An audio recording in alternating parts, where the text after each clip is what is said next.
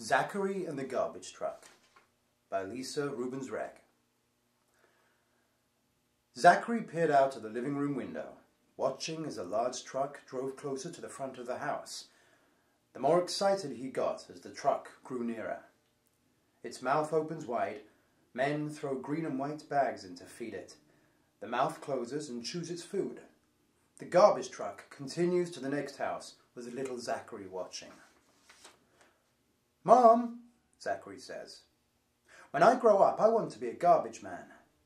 Zachary's mom laughs and asks, Okay, Zachary, would you like to drive the truck or throw the garbage bags in?